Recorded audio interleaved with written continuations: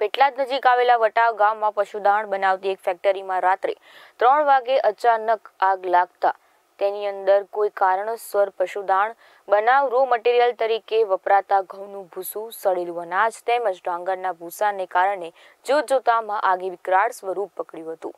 અને આગ એટલી ઝડપથી ફેલાઈ ગઈ હતી કે તેને કાબૂ કરવી મુશ્કેલ થઈ ગઈ હતી.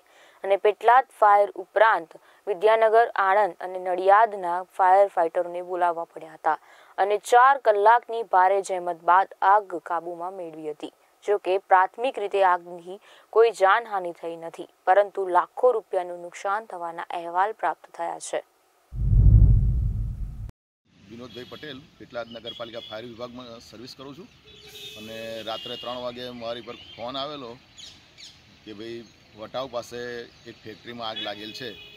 અમે રાત્રે ત્રણ વાગે ત્યાંથી પેટલાદથી અહીંયા આવ્યા આવીને જોયું કે આગ બહુ ભયંકર હોવાથી મેં આણંદ ફાયરને જાણ કરી.